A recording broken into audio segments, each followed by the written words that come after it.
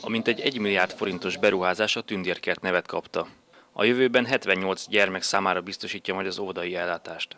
Somogyváron 1888 óta működik óvoda, itt van a megye egyik első óvodája, és most már büszkén mondhatom azt is, hogy talán az egyik legszebb is itt van, hiszen mintegy 130 millió forintos felújítással gyakorlatilag az egész épületet megújítottuk, kibővítettük, úgyhogy 75 férőhelyjel, örömmel és nagy szeretettel várjuk a gyerkőcöket. A disztéren felállított színpad egész délután színvonalas programokat kínált.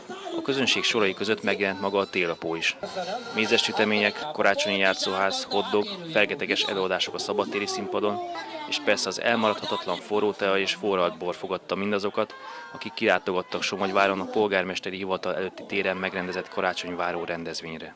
Én már harmadik esztendeje csináljuk mi is, és úgy néz ki, hogy egyre többen vagyunk.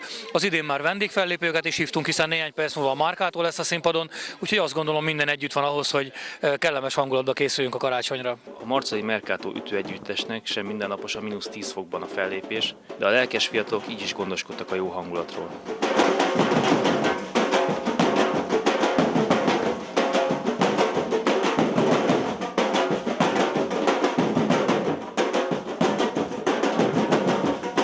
Ebben a mínusz 10 fokban, mint amit most itt véghez vittek a gyerekek, az kész csoda.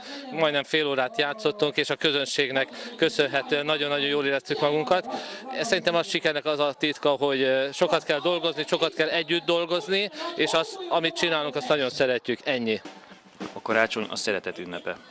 Somogyváron az egész közösség együtt töltötte advent utolsó vasárnapját.